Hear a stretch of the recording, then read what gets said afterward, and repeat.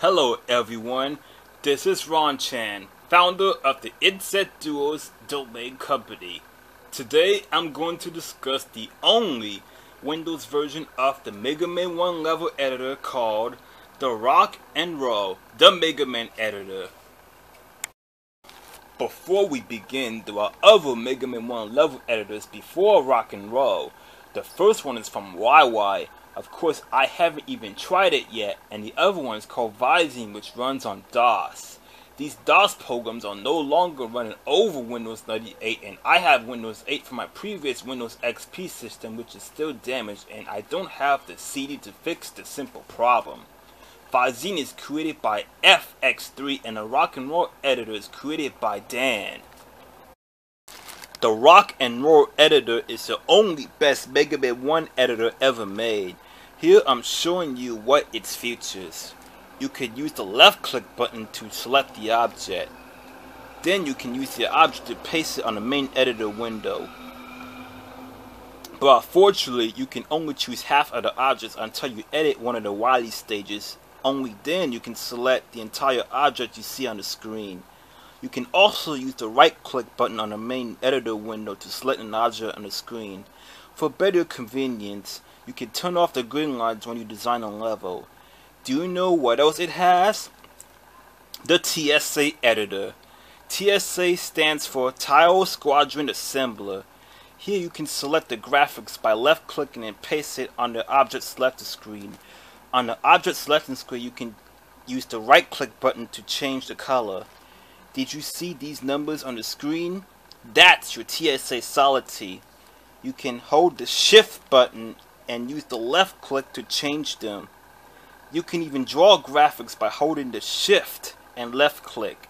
Speaking of TSA solidity, let's check it by clicking on the Mega Man's face icon. You see, it has four solidity settings per level. When you click on them, you can change them the way you want. Unfortunately, since you're editing Mega Man 1, you only get 6 TSA solidity settings. And if you're expected to have the behind the wall background like the fireman stage, you have to create a custom TSA block assembly code. However, I suggest you expand the Mega Man 1 ROM to MMC6 or MMC3 to add more custom TSA blocks up to 255 of them.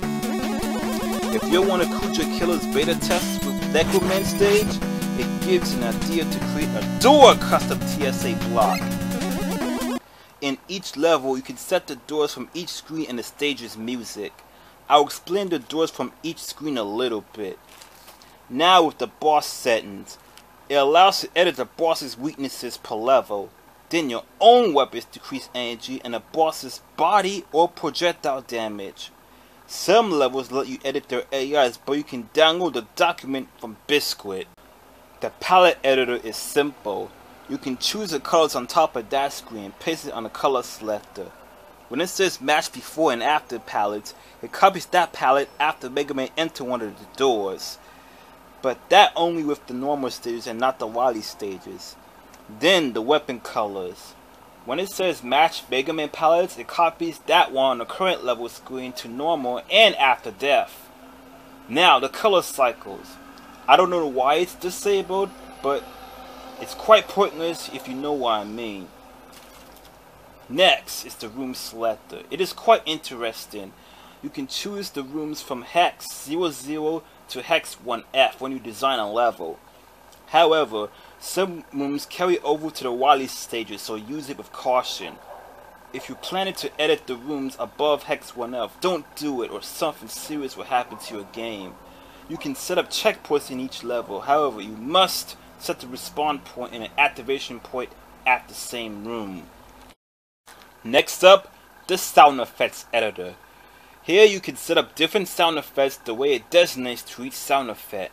However, there is a glitch on that part after you select the sound effect and you click OK, you will notice that the boss chosen and stage select music has changed to its sound effect. And even if you try to change it back, it's still here. Unfortunately, it's virtually impossible to change it to normal. When you actually play it on your emulator once you save the changes in the ROM, this is the result. But there is a way. Download the hex editor from romhacking.net and go to ROM offset 1B6EB and 1B78B, changing the way it's changed. There. Better now? Next is the statistics editor. You can change the settings that the game isn't normally set. And the sprite change editor allows changing the enemy graphics and palette per each set per level. There are 9 sets to choose which also carries on to the Wily stages. Now we go on with the enemy editing. When you click on the object editing or press the F3 button, you can use the left click button to drag an enemy and right click to select an ID number for an enemy. Can't tell what an enemy ID number is? Go to your rock and roll folder and click data. Here are your enemy ID numbers, but all of them are included. Select the wrong enemy and your graphics will get messed up unless you're using the sprite change editor. And you know what else? You can press shift and the right click button to view its futures. Here are your enemy properties. You can choose an enemy list and a screen number. If you move your screen off an enemy, you can follow that order or uncheck it. Unfortunately, you can't change the global enemy health, nor should I say the number that inflicts the damage to Mega Man. Now let's click on the tackle fire button. Here is a list of enemies listed on that order. You can delete all of them except one enemy and add enemies from scratch by pressing the F4 button. Make sure you set your enemy checkpoints. However, you must set them in proper order or some enemies set outside of that order may appear late or won't appear at all. I've seen some hacks where enemies appear by surprise, but I have to blame Codeman stage from Hyper Canyon's hack. Bass.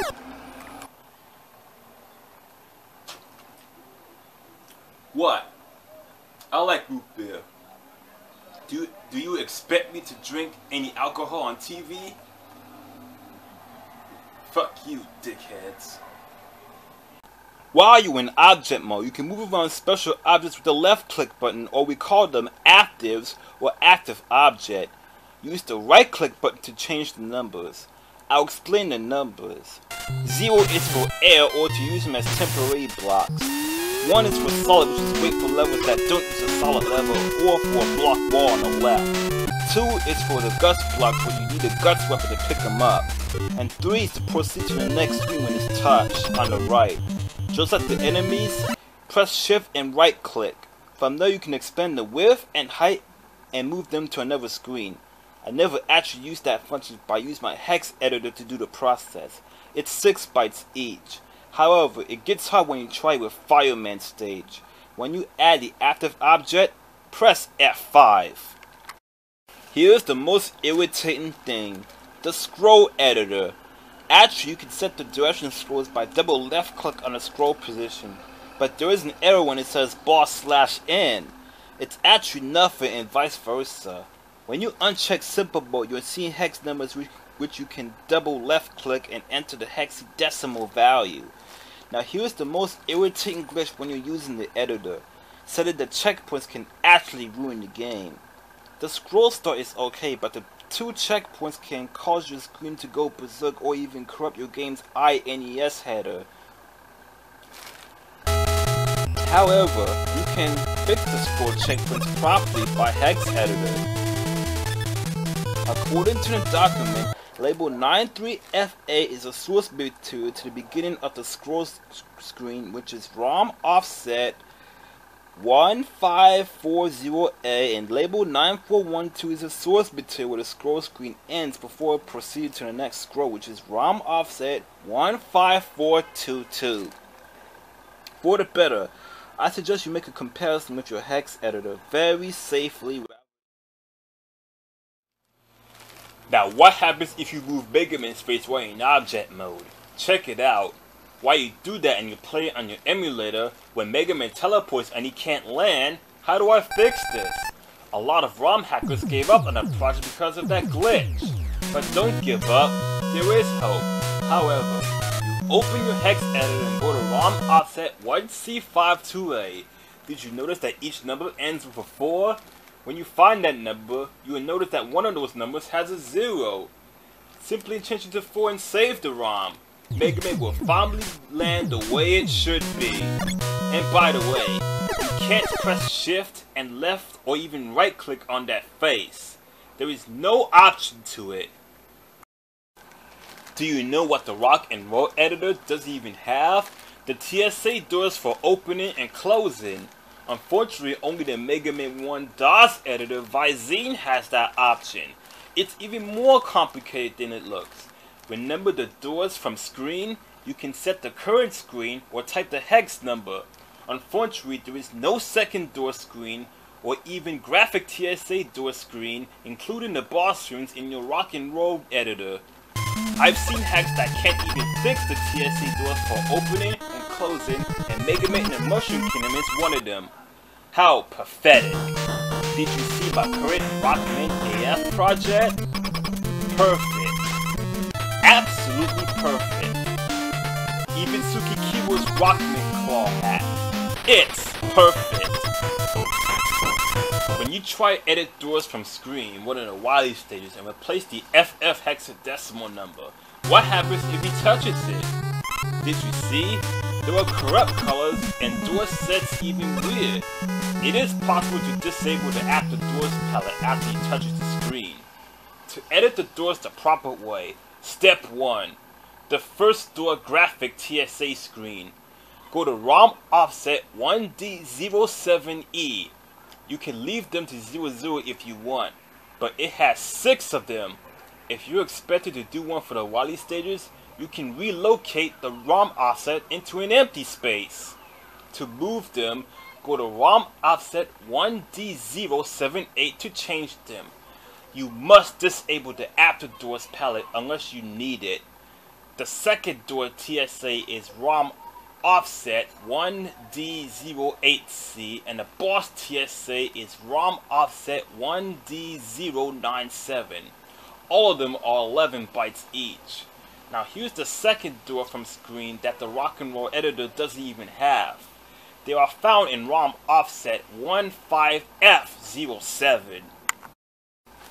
And the important part is to edit the 32 x 32 block TSA for the doors. Here how it explains. Each door level is located within 8F40. The palette is 8F70 and the opening and closing data is 8F80. Here's how it works. In 8F40, each TSA block is 4 bytes each. You can use your TSA editor and type these hexadecimal numbers. Then in 8F70, each palette is 2 bytes each.